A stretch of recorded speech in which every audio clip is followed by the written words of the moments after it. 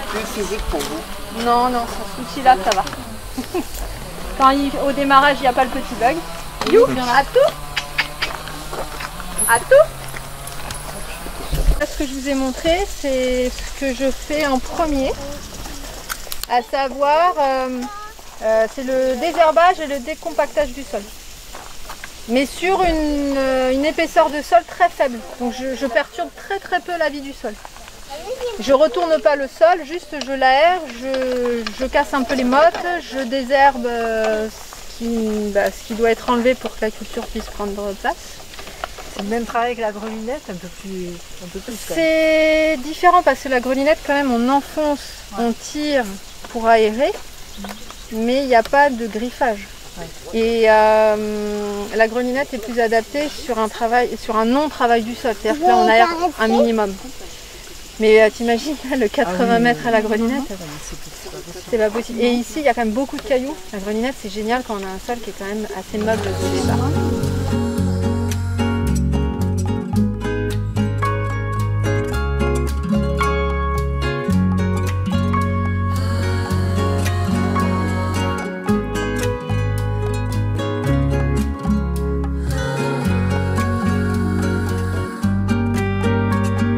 Euh, Au-delà du, beau légume, du bon légume, euh, qui au niveau nutritif ça n'a rien à voir, au niveau du goût ça n'a rien à voir, il y a aussi un engagement paysan. C'est-à-dire qu'on s'engage à, respecter euh, l'environnement dans lequel on travaille, à respecter la terre qu'on utilise, à respecter aussi le consommateur. C'est vraiment un engagement paysan pour moi. Et, et quand je travaille avec des gens qui comprennent ça, euh, bah, c'est tout gagné. Euh, les salades, donc, elles ont toutes été vendues et tu sais, je coupe et ça repart à la base. Ah oui, oui, oui. Et je les ai laissées repartir et monter.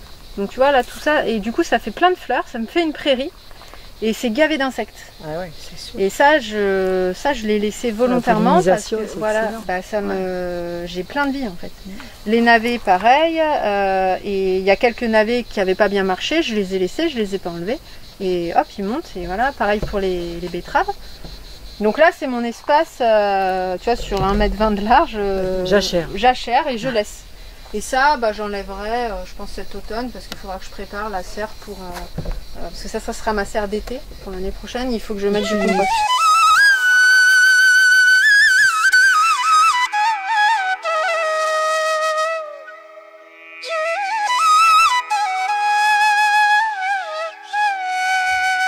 Je travaille pas sur l'esthétique du produit, je travaille sur la qualité nutritive du produit. Et puis le goût. Et le goût, voilà.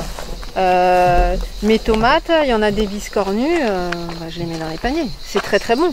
Elle a le même goût que celle qui est plus lisse, qui est plus standard. Euh, et voilà.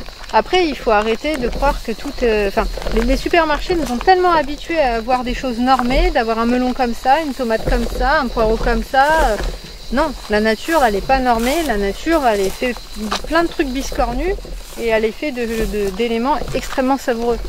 Et c'est ça, moi, que je cherche. Et c'est les clients qui acceptent ça avec qui je travaille.